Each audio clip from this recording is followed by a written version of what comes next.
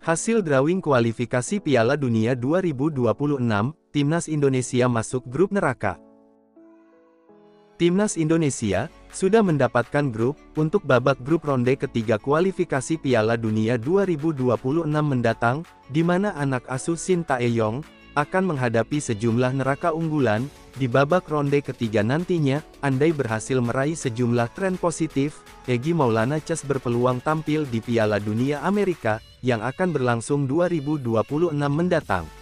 Timnas sendiri masuk dalam grup C, di kualifikasi Piala Dunia, di mana, dalam grup Timnas Indonesia, terdapat tiga negara langganan Piala Dunia, sebut saja Saudi Arabia, Australia dan Jepang, grup C Timnas Indonesia, terdiri dari Indonesia, China, Bahrain, Arab Saudi, Australia dan Jepang, kalau melihat grup Timnas Indonesia, maka bisa dikatakan sebagai grup neraka, karena terdiri dari tiga langganan Piala Dunia.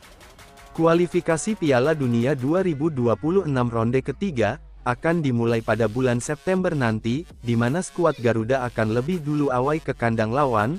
Selanjutnya, di laga kedua Timnas Indonesia akan bertindak sebagai tuan rumah, andai tidak ada kendala, Timnas Indonesia akan menjalani enam laga kualifikasi Piala Dunia ronde ketiga, pada akhir tahun ini, sedangkan empat laga lainnya, akan dimainkan pada 2025 mendatang. Kalau ingin lolos ke babak selanjutnya, Timnas Indonesia harus berada di urutan pertama atau kedua, maka Timnas Indonesia akan lolos otomatis, andai gagal di posisi tersebut, Timnas Indonesia bisa mengejar posisi 3 dan 4, untuk kembali bersaing di babak kualifikasi Piala Dunia ronde keempat.